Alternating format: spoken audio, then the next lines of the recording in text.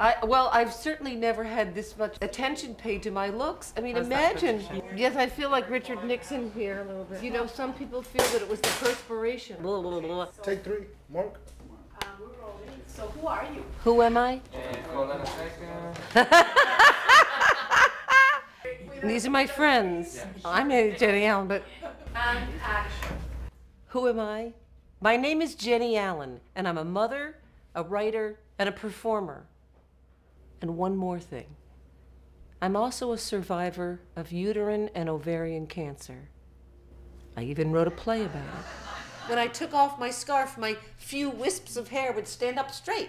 So I looked just like a dandelion going to seed, which I thought was funny. Before cancer, I took my health for granted, kind of like the air I breathed around me. And I always had a, a, a kind of dismissive attitude about my own ill health. I didn't really take it seriously. I kind of brushed it aside if I didn't feel well. So that when I had persistent symptoms, I didn't take them seriously enough.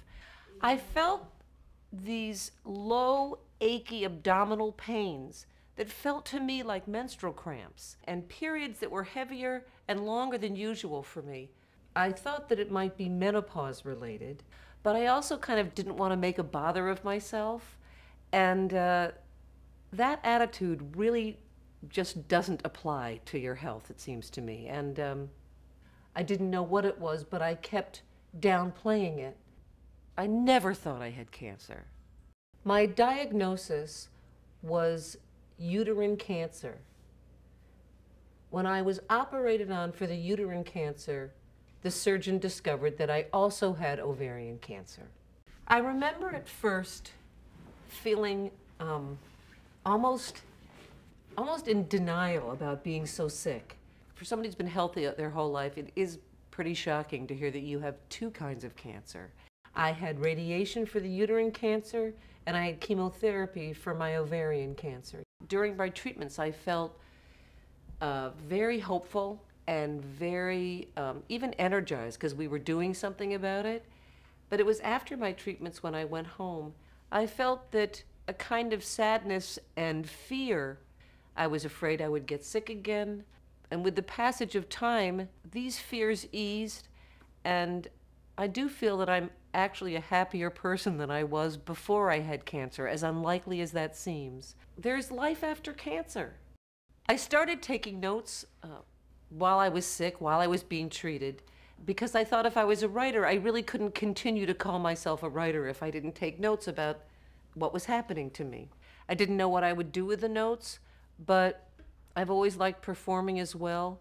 So I blended the two. I wrote a performance for myself, and it was great. I mean, it was great for me. I don't know if the show was great. I hope the show was great. No, the show. Well, you simply cannot look this healthy and be so sick. Maybe you don't have real cancer. Maybe you are just cancer ish and it'll pass. like the flu. We performed it in New York, and now I perform it around the country. And the show is called I Got Sick, Then I Got Better. And it tells the story of my diagnosis and my treatment and the effect of the disease on my family. And uh, it has a happy ending. Cancer is such a scary word. So, who wants to think about it? Who wants to actually do anything about it? Of course, you hope it's nothing. But take it very seriously. Take your symptoms as seriously as you would take the symptoms of a child of yours. If you have symptoms that last two weeks or longer, be brave. Go to the doctor. Ask questions. The odds are you don't have cancer, but find out for sure. Now I am feeling healthy and happy and hopeful. I want to travel more, I want to write more, and uh, I want to be a really great grandmother. I am so lucky. I got sick, and then I got better.